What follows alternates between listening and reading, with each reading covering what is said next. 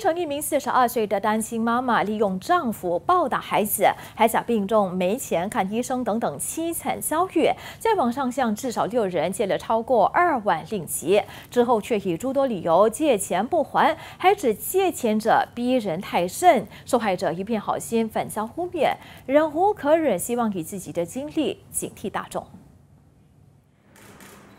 槟城一名女子在网上自称是单亲妈妈，没有收入的同时还得抚养四个孩子，向同情或怜悯她的善心人士借钱。不过她借了钱之后却不还，甚至还污蔑。恐吓和勒索借钱给她的人，目前已经有多人受骗，涉及金额超过两万令吉。其中一名受害的杨女士哭诉，她因为同情这名女子的遭遇，动用养老金，前后借出了一万三千五百令吉给对方。没想到后来追讨这笔钱时，反被对方污蔑，最终只拿回了一千令吉。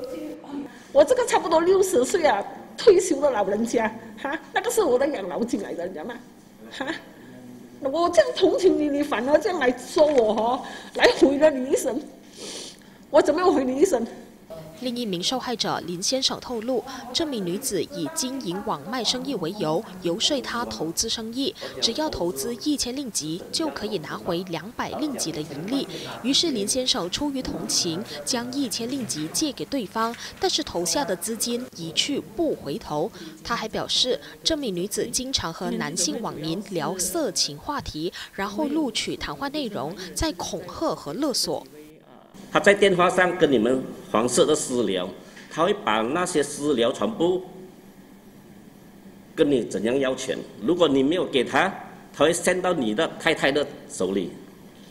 做到人家有一些网友的家庭差不多要离婚了的，说这个很可恶，你知道吗？六名受害者今天在滨州民政党妇女组发言人王旭能的陪同下召开记者会，揭发这名女子借钱不还的诈骗过程，避免再有其他的受害者被骗。同时，已经向警方投报，要求警方介入调查。